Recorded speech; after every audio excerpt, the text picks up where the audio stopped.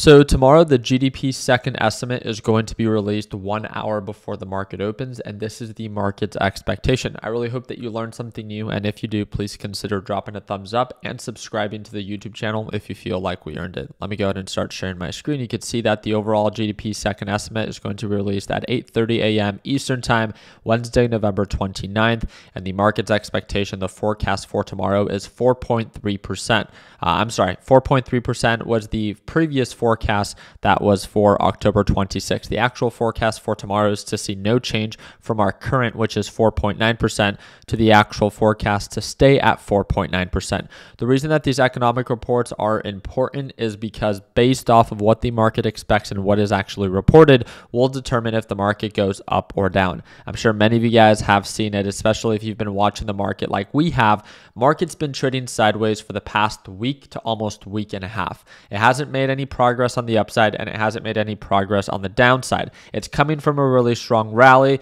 So, again, when asking the question, are we overbought enough that it could potentially pull on back? Or is the market going to continue to try to rally and end the year on a very, very strong bull run? Both are possible outcomes. Now it's just waiting for direction to be more clear.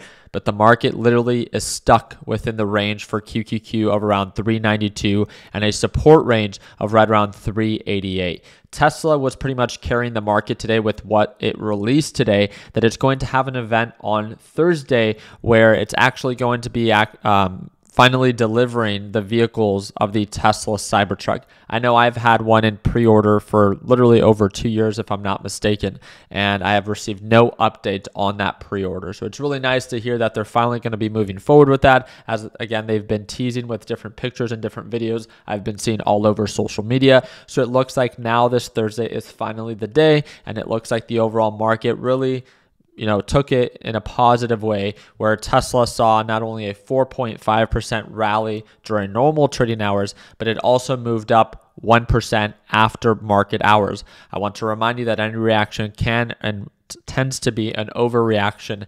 And if this begins to pull on back, then yes, it can drag the rest of the market down with it.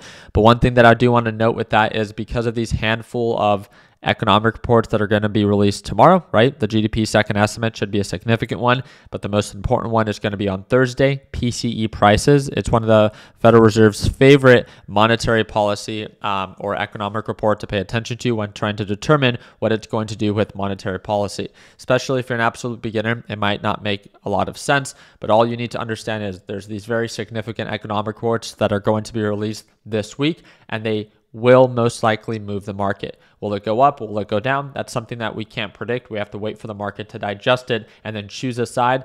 But all I'm literally hoping for is for the market to choose a side. Hopefully it breaks above or hopefully it breaks below, but I'm sure we can all agree that the consolidation or the trading sideways is doing no one any good. So excited to keep you guys up to date. I will be live streaming tomorrow right at market open for my live trading session and I would love to see you there. And that's the second link in the description down below if you want to tune on in to watch me trade live, especially if you're an absolute beginner. I hope that earned your thumbs up. Please consider subscribing. And like always, let's make sure that we end the year on a green note. Take care, team.